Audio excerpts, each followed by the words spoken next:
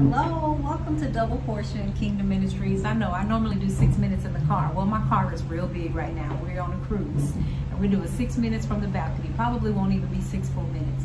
What I wanted to do was a seek first the kingdom and tell us that you are a kingdom carrier that are sent into the earth realm for such a time as this. Can you carry the kingdom wherever God places you, even on a place like a big old cruise boat? Can you be an epistle and an example, even in the midst of things that mm, you may not partake of, but you're placed there for such a time as this? You have an assignment to be fulfilled.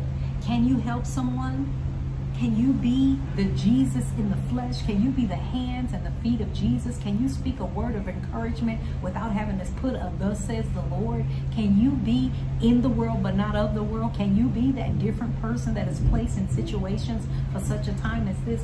That's what this word is about.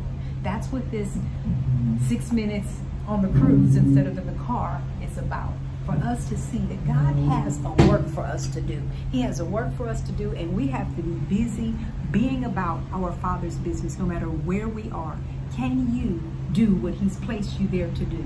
That's my question. That That's a Selah. That's a pause and calmly think on that. That's what I've titled this cruise. This is my Selah cruise. This is this is Selah. Pause and calmly think on all of the things that God has you doing. I've been seeking first the kingdom for a while, and I don't plan to stop while I'm on this side of glory because I know that I am a glory carrier that is here for such a time as this, and I am going to share it wherever He places me, whenever He places me, without being churchy.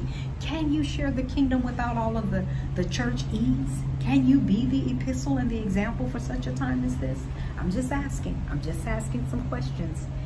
Answer the Lord, not Paulette. See you in the next video.